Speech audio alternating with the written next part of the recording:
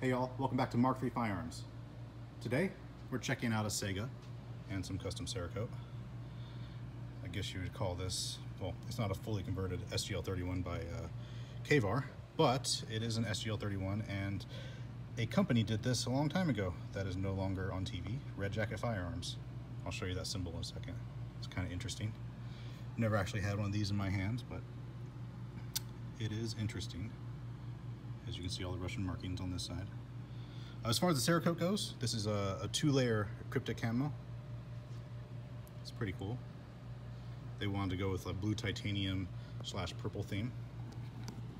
And I think we fit the bill with this one.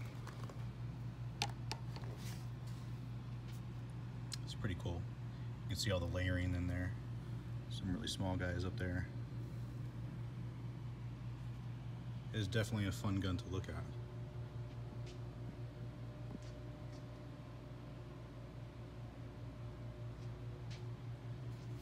But yeah, nothing too crazy. Just a Russian gun with some crazy camo. And I'll show you that little symbol I told you about. There you go, Red Jacket Firearms. As we know, they're not around anymore for obvious reasons. And that's their, uh, I guess, idea of a Russian converted gun. Interesting.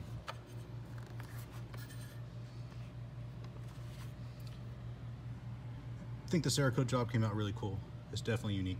You know, you see Kryptek on a lot of different guns and variations, but to see a two-layer is kind of cool. I thought it would be fun anyways. That's it. Nothing too insane. As always, questions, comments, concerns, leave them, and you know we'll answer accordingly. Until next time, guys. there goes a customer.